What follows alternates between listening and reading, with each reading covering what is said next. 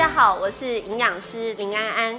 疫情期间，大家都知道要戴口罩、勤洗手，但您知道口腔健康的重要性吗？我们今天就请到了典范牙医的许志龙院长来到现场。医师您好，大家好，我是典范牙医诊所的院长许志龙。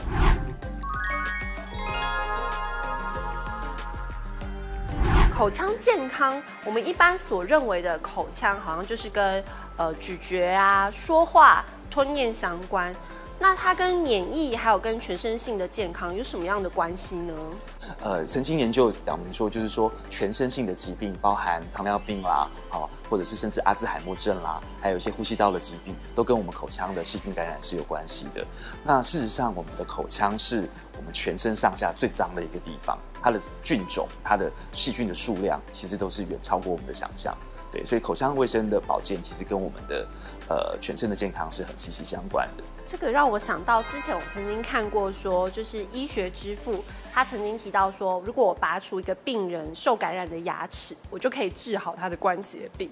所以可以想象得到，说原来口腔健康，其实在西元前两千年，这个观念就开始萌芽了呢。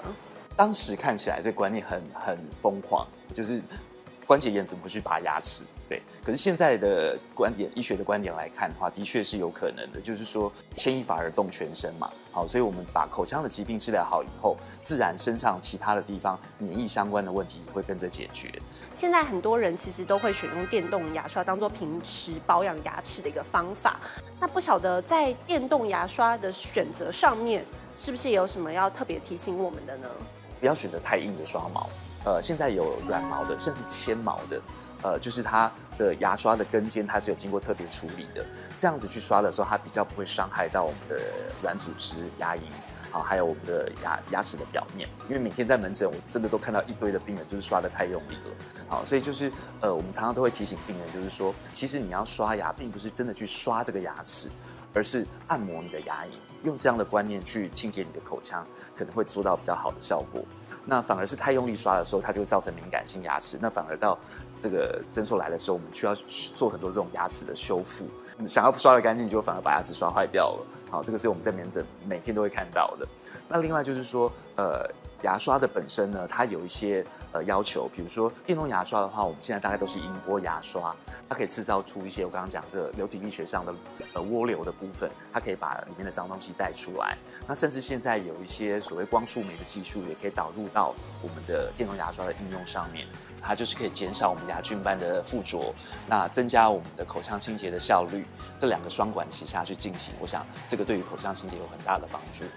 那请医师帮我们示范一下，什么叫做背式刷牙法？好的，没有问题。基本上就是拿一个赞，把这个牙刷拿好以后呢，我们把它贴在牙齿的侧面。然后呢，呈现一个四十五度角的角度。那这四十五度角怎么刷呢？就是原来平行于牙齿，稍微偏一点点。那这样子就会有一部分的刷毛在牙齿上，有一部分在牙龈上，那有一部分在我们的牙龈沟。那这样就可以帮牙齿的周边做一个很好的清洁。那呃，搭配上电动牙刷的计时的功能，以每四分之一上限，四分之一二作为一个单位，所以全口一共分为左上、左下、右上、右下四个单位。那每一次我们就是。刷一个上限，就是比如说我左上刷完以后，那刷内侧的地方再来刷咬合面，这样作为一个单位就刷完了，然后再来换到下一个区域，也是四分之一二作为一个单位，那这样子把四个上限都刷完以后，就是一个完整的硬组织的清洁。谢谢医师的分享。那刚才有提到，在整个呃刷牙的材质的选择，然后还有刷牙的方式跟步骤，那刷牙还有一个很重要的东西就是牙膏。在牙膏的选择上面，想必也有一些呃医师想要跟我们分享的吗？是，呃，其实台湾地区因为我们饮水没有加氟化物，所以呃，相较来讲，我们台湾国人的龋齿龋齿率是比较高的。那所以在选择牙膏的方面，我想最重要的第一点就是要选择含氟的牙膏。那氟化物其实不仅仅是对于我们的牙齿有帮助，对我们的骨骼它也需要氟化物的作用。甚至有时候我们在病人氟化物摄取量不足的时候，我们会请他额外再摄取氟定，然后增加他氟氟化物的摄取量。那呃，台湾地区因为饮水没有加氟的关系，所以相较于某些北欧地区，他们有做过实验哈，他们在饮水加饮水里面加氟的话，它的龋齿率的确是下降很多的。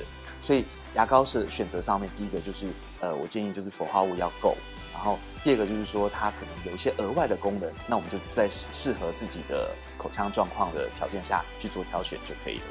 谢谢许院长今天帮我们这么清楚的分享，相信大家一定对口腔健康跟免疫的关联性，想必会更加的了解。那我们今天谢谢医师的分享。